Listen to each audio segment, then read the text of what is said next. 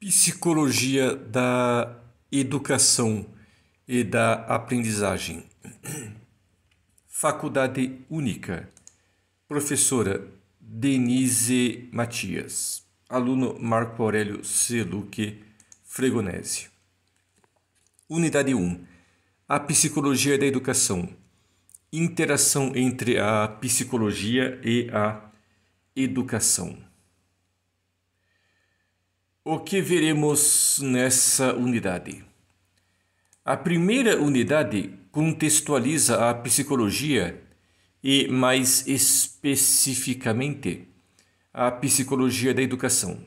Para tanto, apresenta duas grandes psicólogas da educação brasileira, Helena Antipoff e Maria Helena Souza Pato.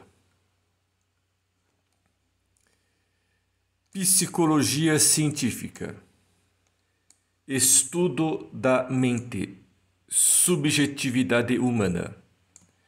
Modo de ser, sentir e comportar-se. Século XIX.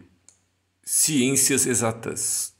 Mensurar os comportamentos. Manter-se neutro.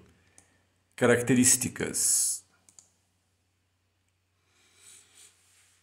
Área de atuação: Psicologia escolar educacional, Psicologia social, Psicologia jurídica, Psicologia do esporte, Psicologia organizacional e do trabalho, Psicologia de trânsito, Psicologia em saúde e avaliação psicológica, Psicologia hospitalar, Neuropsicologia.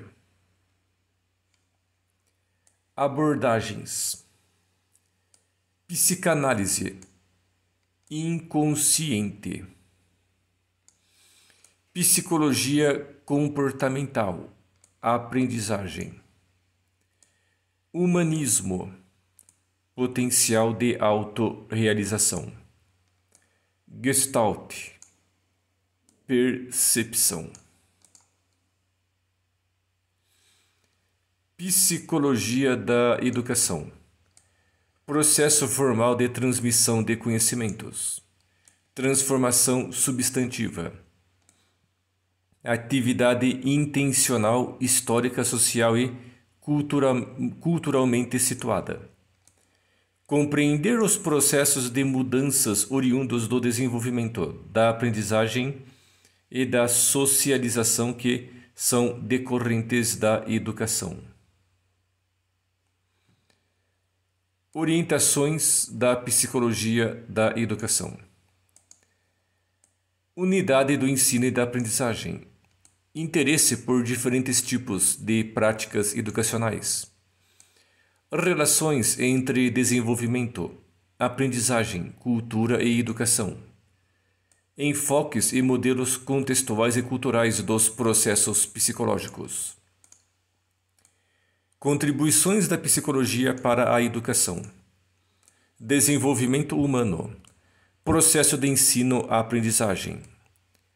Diferenças no, nos contextos educacionais.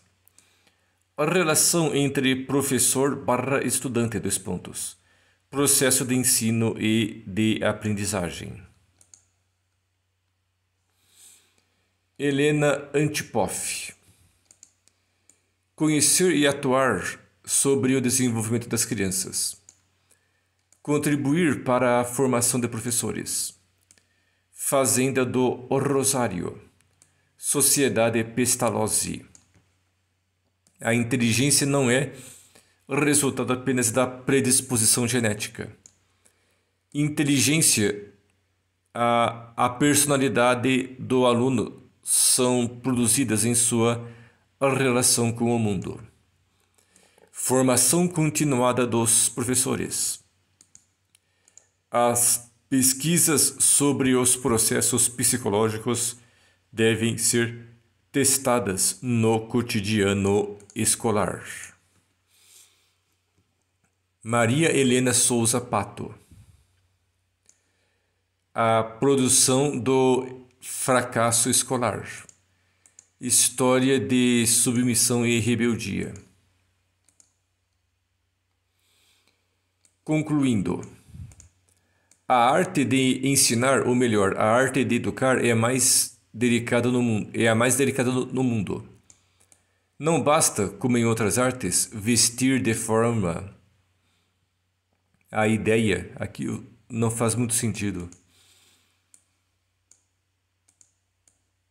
Vamos lá. Escolhendo à vontade a matéria-prima. A grande arte consiste em adaptar a sua ideia ao feitio particular do educando e no universo psicológico da criança fazer ressoar o seu próprio universo. Explícita ou implicitamente deve haver entre os dois entendimentos. Senão, na melhor das hipóteses, os feitos educativos serão transitórios, não passando de um verniz muito superficial. Na pior das hipóteses, criará rebeldia e revoltas. Antipof 2010